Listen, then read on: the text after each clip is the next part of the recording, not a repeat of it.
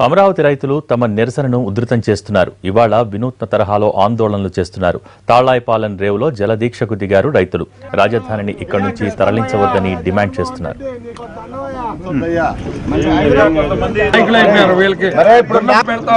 ఒక ఆ, government minister చూస్తాడు కాదని మీలో మీకు లేదు అయ్యా దీన్ని నిన్న కడప జిల్లాలో సీఎం జగన్ రెడ్డి చెప్పాడు. ఈ సంవత్సరం అతి భారీ వర్షాలకు ఎనిమిది వందల టీఎంసీ వాటర్ వేస్ట్గా కృష్ణానదిలో కలిసింది. ఆ ఎనిమిది వందల టీఎంసీ వాటర్ పోయిన నది ఇదే అండి. ఈ నెలలో నుంచి కలిసిపోయిందండి. ఇది మా గ్రామం పక్కనే ఉంది. ఎనిమిది వందల టీఎంసీ వాటర్ వచ్చినా కానీ అమరావతి ఎప్పుడు మునగల. ఇదే కర్నూలు మునిగిన రోజు కూడా అదే వాటర్ ఇదే నదిలో నుంచి వెళ్ళిందండి. తమిళ శేఖర సీతారాం ఇది చూస్తా ఉండు ఇదే అయినా అమరావతి మునగల.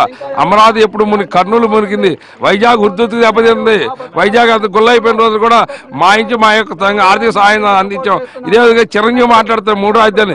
చిరంజీవి ఏ రోజున నీ సొంత డబ్బులతో వైజాగ్ రూపాయి పండించావా? వైజాగ్ ఉద్దుతో తెస్తే ఎంపీ లాడ్స్ ఇచ్చావు కానీ నీ సొంత మీడియా తరపుగా నువ్వు కూడా కానీ మా ప్రజలు మేము మా స్వచ్ఛందంగా మా ఓపిక తగ్గట్టు మేము ఆ- రోజు వైజాగ్ సహాయాలు చేసాం అలాంటిది తమిళ సేతారు నువ్వు ఎడారి అంటున్నావు. ఇది ఎడారి కాదు కృష్ణ వాటర్ ఒక్కసారి డౌట్గా వస్తే ఇది మేము పేడ ఆర్టిస్టులు కాదు ట్యాంకర్ తెచ్చి నీళ్ళు పోయేలా. నీవు ఒకసారి డౌట్గా ఉంటే వచ్చి చూడు నువ్వు మునగపోతే తెలిసింది. అదే అవునా కాదని. ఇంకోటికి డౌట్ కాదు కొంచెం లోతు పో. శ్రీవారి దగ్గర చేరతావు నువ్వు ఇట్లాంటి తప్పుడు మాటలు తప్పుడు బాధ్యత పదలో ఉన్న తప్పుడు వ్యవస్థగా తప్పుడు మాట్లాడు మాకు నీ మాటలుగా నీ వయసు గౌరవ ఇవ్వాల్సి వచ్చి మా నోరు అదుపులో పెట్టుకోవాల్సి వస్తుంది. లేదా ఎందుకని మేము ఎక్కువ మాట్లాడాలి ధర్మ ప్రసాద్ నిన్న ఏదో బుల్బుల్ డ్యాన్స్ చేస్తున్నావు. నీ బుల్బుల్ డ్యాన్స్ అయితే స్టేజ్ ప్రోగ్రాలు పెట్టుకో. ఎనిమిది గ్రామాల ఎనిమిది గ్రామాలకు సంబంధించిన సమిచ్చ ఇరవై తొమ్మిది గ్రామాలు కాదు. పదమూడు జిల్లాలకు ఐదు కోట్ల ఆంధ్రులకు సంబంధించిన ఇది. ఇది ఇరవై తొమ్మిది గ్రామాల ప్రజలు కాదు.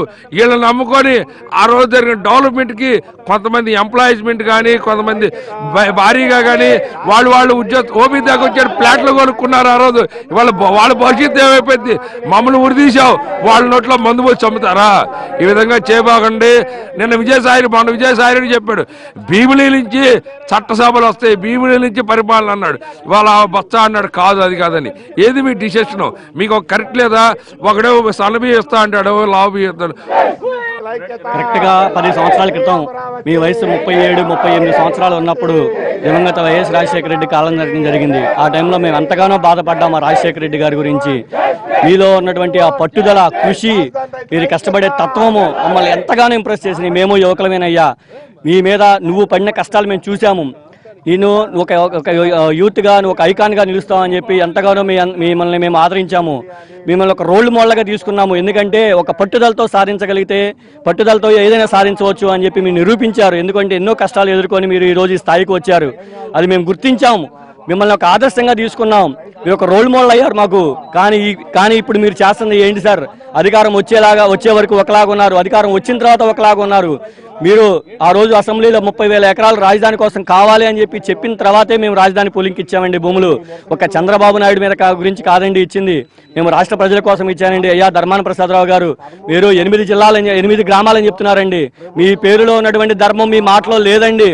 మీరు ఎనిమిది గ్రామాలు కాదండి ఇవి ఇరవై తొమ్మిది గ్రామాలండి. ఇరవై తొమ్మిది గ్రామాల్లో లక్ష జనాభా అండి. లక్ష జనాభా.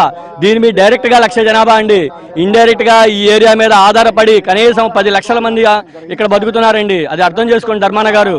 మీరు ఇంకోటి గుర్తించాలండి. ఇక్కడ ఈ నాలుగు సంవత్సరాల్లో జరిగినటువంటి డెవలప్మెంట్ వల్ల ఎన్నో ఎంతో మంది ఒక ఐఏఎస్ ఆఫీసర్ దగ్గర నుంచి ఒక చిన్న ఉద్యోగి వరకు ఇక్కడ వంద గజాల నుంచి వెయ్యి గజాల వరకు ఇన్వెస్ట్ చేస్తున్నారండి డబ్బులు. వాళ్ళ భవిష్యత్తుకు ఈ రోజున ఆ, ఇది లేకుండా పోయిందండి. వాళ్ళ భవిష్యత్తు ఎక్కడైనా చూసుకుంటే చాలా కష్టంలో ఉన్నారండి. మమ్మల్ని అర్థం చేసుకోండి సార్. ఇంకొకటి చెప్తున్నాం సార్. మేము నిజమైన రైతులమండి. మేము నిజమైన రైతులమండి. ఇదే గడ్డలో పుట్టామండి. ఇదే గడ్డలో కలిసిపోతామండి. మేము పెయిడ్ ఆర్టిస్టులం కాదండి. ఒకటి అర్థం చేసుకోండి సార్. ఇంకొకటి సోషల్ మీడియాలో అయ్యా సోదరులారా మమ్మల్ని ఎంతగానో మా ఆడవాళ్ళని కానీ మమ్మల్ని కానీ ఎంతో ఘోరంగా మాట్లాడుతున్నారు. మాకు చాలా చాలా బాధగా ఉందండి.